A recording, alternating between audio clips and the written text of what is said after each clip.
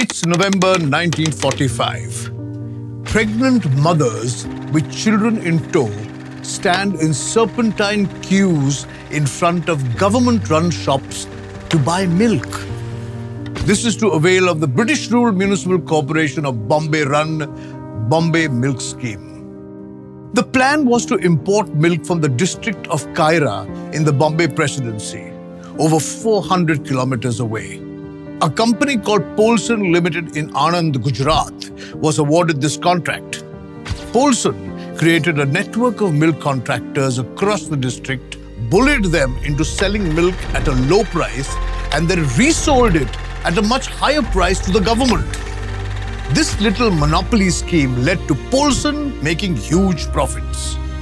The Bombay government started getting a steady supply of milk as planned. People got it for cheap and contractors took their cut. All parties were happy except the farmers. The farmers were forced to sell milk to Polson at whatever price they quoted because although they managed to produce a lot of milk, they just did not have the cold storage facilities required to store this highly perishable product. They just had no option. But then an idea emerged. What if the farmers banded together and started a cooperative? What if they collectively controlled the supply so that the likes of Polson wouldn't be able to have a monopoly? This simple idea would change the dairy industry in India forever.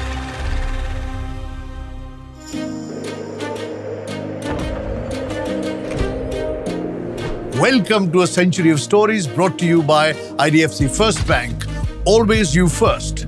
I am Kunal Vijayakar, and this is the story of the White Revolution and how rivers of milk started flowing in India.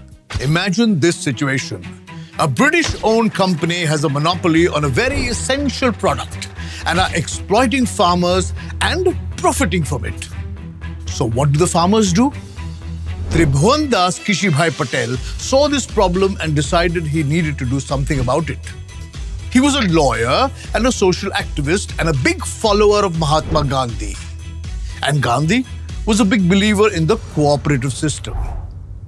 Gandhi had written about this precise problem in his weekly magazine Harijan in 1942. He wrote, The most important question for consideration was whether cow farming should be in the hands of individuals or done collectively.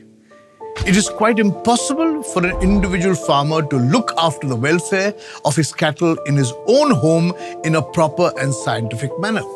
I firmly believe too that we shall not derive the full benefits of agriculture until we take to cooperative farming. Tribhuvandas Patel saw merit in this idea, gathered a few farmers, and went to meet Sardar Vallabhbhai Patel to look for a solution. Sardar Patel understood the problem intimately since he had spent years working with farmers and had seen the potential of cooperatives. He asked the farmers to launch a movement and establish a dairy cooperative in the district of Kaira. But he warned the farmers and told them that the British would not be happy and that they would lose out on income for a few weeks and months to come. All warnings aside, the farmers were determined to fight. And so the movement began. Sardar Patel sent his close confidant Morarji Desai to Kaira with the mission to establish the dairy cooperative and to arrange for protests against the British. On 4th January 1946, Morarji Desai called for a meeting of the farmers in the village of Samarkha.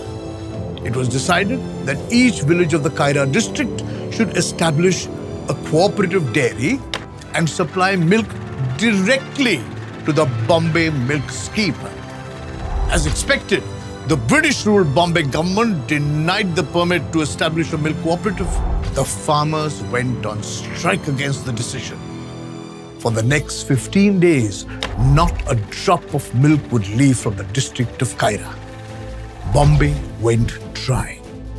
Finally, the government had to give in. The commissioner of the Bombay Milk Scheme came to Kaira with his deputy and accepted the demands of the farmers. The Kaira District Cooperative Milk Producers Union was born. on the 14th of December 1946.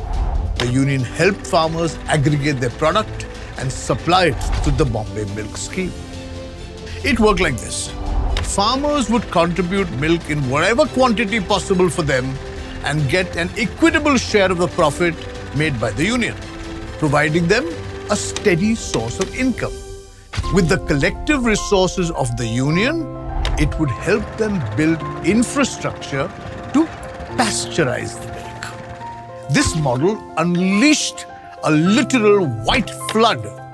From the little capacity of 250 liters of milk in a day, the capacity of the union quickly increased to nearly 5,000 liters. It created a surplus. The Bombay Milk Scheme could not consume this volume of milk. The surplus grew bigger and bigger as the winter set in because buffaloes produced nearly double the amount of milk in cold weather. Surplus milk now became a big problem. This is where a mechanical engineer arrived on the scene who came up with another bright idea. Why don't we just turn all this extra milk into milk powder? Enter Dr. Verghese Kurian. Kurian was a mechanical engineer with a minor in nuclear science. The opportunities were limitless for a young Verghese, but Tribhuvandas came into his life and presented the surplus milk problem to Dr. Kurian. Kurian was hired as the manager at the KDC MPL and was tasked with coming up with a solution. Kurian went to meet Dr. Harichand Dalaya.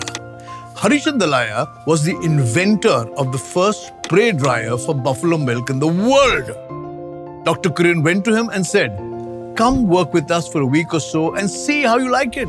Dr. Dalaya stayed on and brought in several technological advancements, such as establishing the process to make skim milk powder as well as condensed milk.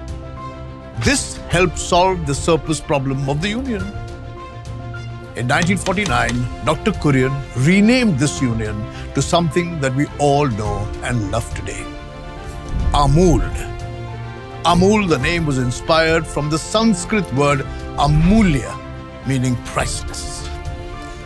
Under the leadership of Dr. Kurian, Amul quickly became a household brand across the country and entered the business of other dairy products. It is now 1965 and the Prime Minister Lal Bahadur Shastri decides to visit the milk district of Kaira. During his stay at a farmer's house, he notices the prosperity of the district and of its people. When asked how this has happened, they all seem to echo the same name Dr. Verghese Kurian. Inspired by what he saw, Shastri returned to Delhi and decided to replicate the Amul model across the country. He called it Operation Flood. In 1965, the Government of India establishes the National Dairy Development Board and appoints Dr. Kurian as its chairman. Five years later, Operation Flood begins in full swing. The operation was executed in three phases. Phase one, to create a demand in the urban and metropolitan areas of India, increase the market share of milk producers, and improve the quality of cattle. Phase two, these efforts led to a rapid growth of the milk market. Nearly 42 lakh milk producers and 43,000 villages were now part of the milk economy, selling milk in over 290 urban markets. And phase three. The final step was taken by providing better vaccinations, animal care, and diet plans for cattle, which improved their yield even more.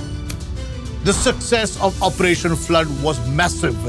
From being a milk deprived nation dancing to the tunes of British colonial rulers, India went on to become the world's largest producer of milk in a span of just three decades. Thanks for this, Dr. Kurian. You've been watching a century of stories brought to you by IDFC First Bank. Always you first. And in the next episode, we'll explore the remarkable tale of the Life Insurance Corporation, or LIC, and their agents who offer hope when everything else seems hopeless.